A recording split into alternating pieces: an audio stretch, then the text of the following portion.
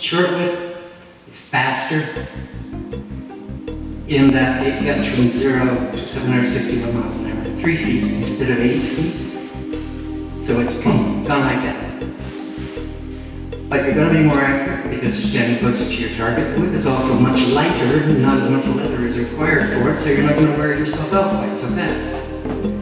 Throwing a long whip is like holding a bowling ball at arm's length. Long whip allows you to be sloppy. More forgiving. The short whip will force you into a stricter form. You can't get